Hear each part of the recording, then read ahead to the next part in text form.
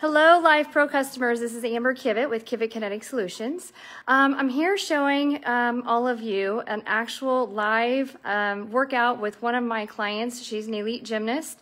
Um, she uh, injured her ankle. She got a lateral ankle sprain on her left ankle, and that happened uh, late last week before she went out of town. So she's here doing her rehab tonight, and so I'm here to share with you kind of what we are doing in order to uh, accelerate her recovery using Life Pro recovery tools. So, um, featuring here, this is Nellie.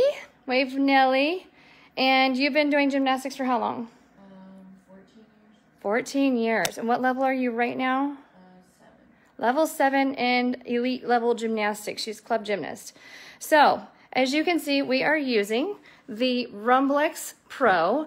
And the reason why we're doing this is we're trying to get uh, muscles turned on, trying to get fluid um, moving eh, out of the toes, especially you can see.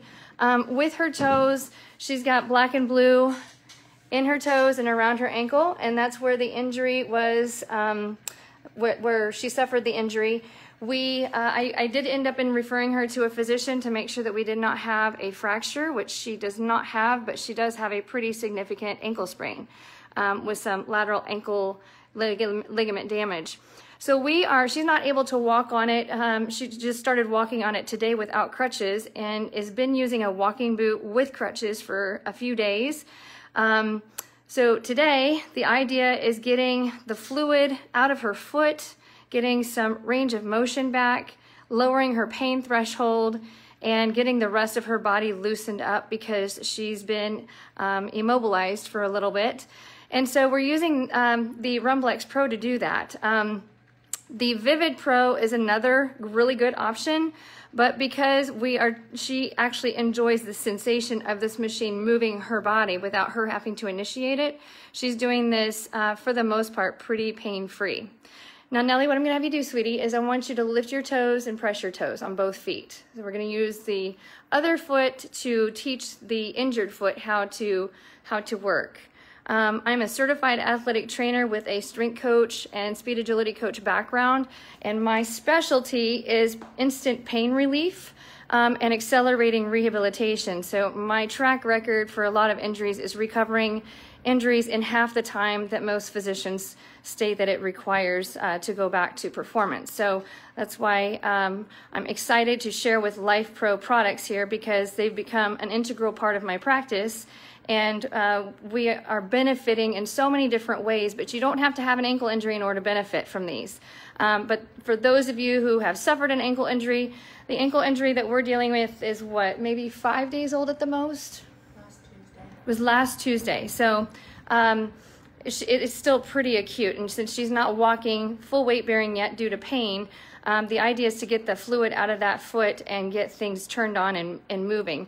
Um, today, you can actually see the tendon in the front of her foot and some of the structures in her foot. The other day, um, she couldn't handle me touching her and she couldn't, uh, you couldn't see much of anything going on her foot from all the swelling. So um, I have got her set up on the P2 program, although it is um, not all completely low level inflammation um, or low intensity for inflammation.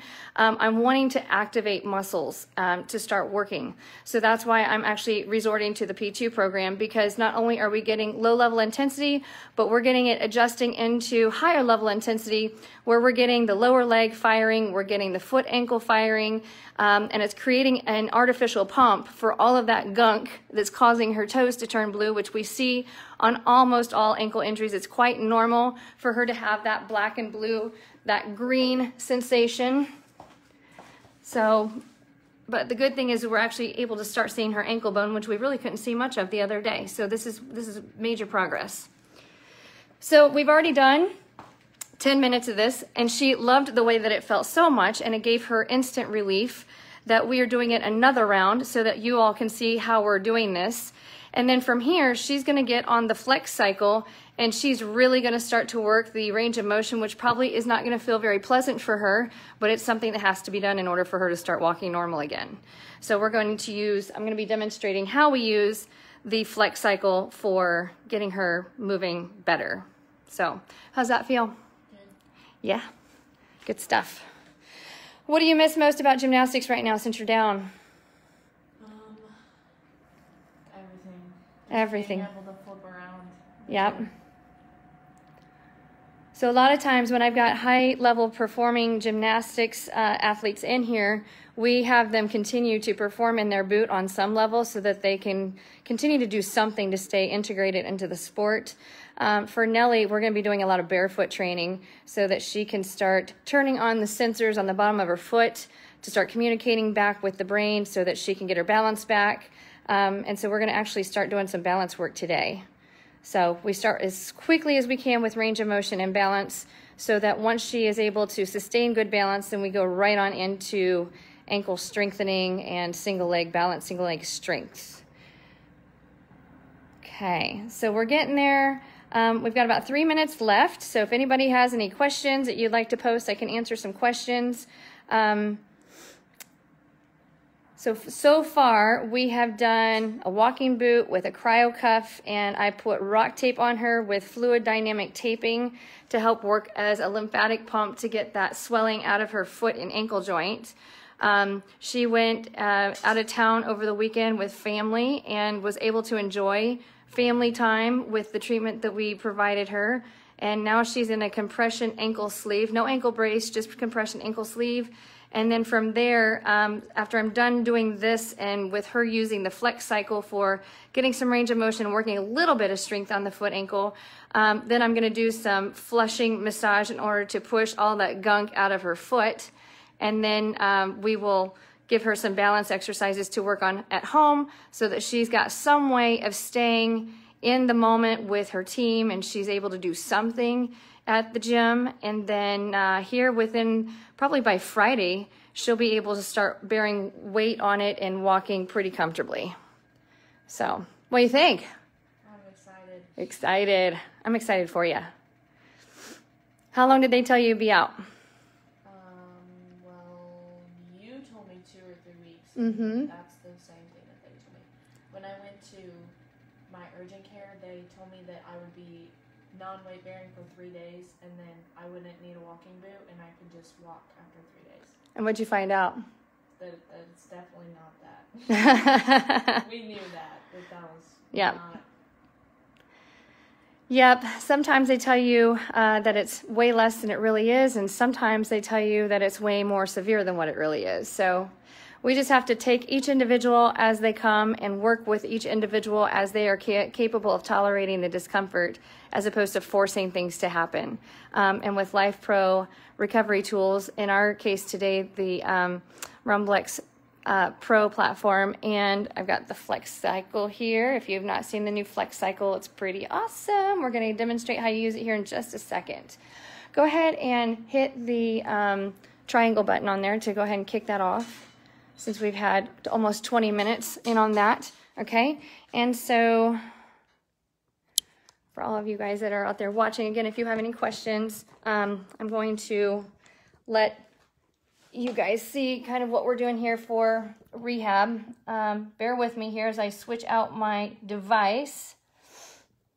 So, okay, go ahead and lift your feet up. Now, before I put you on the flex cycle, go ahead and try and stand up on your foot and just see what you feel different. Because we know we're in a safe controlled setting, so what do you feel different? It doesn't hurt as much. Doesn't hurt as much. Get out of here. It feels looser. Feels looser. So tight. automatically. Okay, go ahead and move to the side for just a moment. We're gonna slide this position here. I'm gonna demonstrate to you here real quick what I want you to do. So we've got her sitting in this awesome low level stool and she's just gonna make contact here with the actual foot pedals and we're just going to turn the unit on and just get motion going. So I want her to actually get the ankle moving so we're driving with the ball of the foot and just creating nice fluid circles. And right now I'm on a level two, so we'll see what she can tolerate and then we'll go from there. Okay, so go ahead on there, Nellie.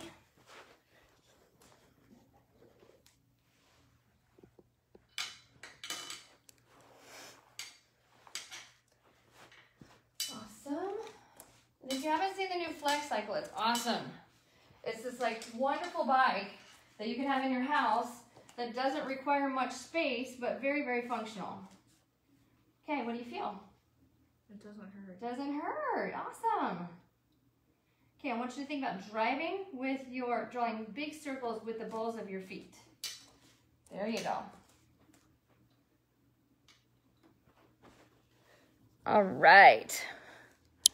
So let's see a little bit of here up and close.